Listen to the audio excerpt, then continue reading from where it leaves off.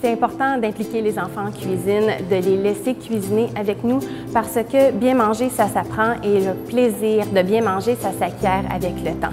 C'est d'autant plus important si on le fait dans le plaisir, c'est plus constructif. Et pour les enfants, cuisiner, c'est jouer. Ils apprennent en jouant, ça c'est l'idéal. Ils apprennent d'où viennent les aliments, comment les manipuler. Ils développent leurs compétences aussi et ça fait en sorte qu'ils grandissent en ayant en tête que bien manger, c'est bon, bien manger, c'est plaisant, bien manger, c'est facile.